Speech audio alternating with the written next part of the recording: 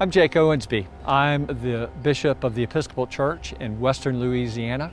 I wrote a resurrection shaped life because I wanted to start a conversation with you.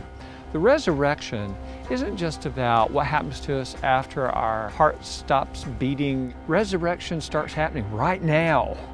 In little things like a cup of coffee shared with a friend, in big things like overcoming the shame we've lived with our whole lives. I wanted to help you experience what I have that we die and we rise again right in our own neighborhoods.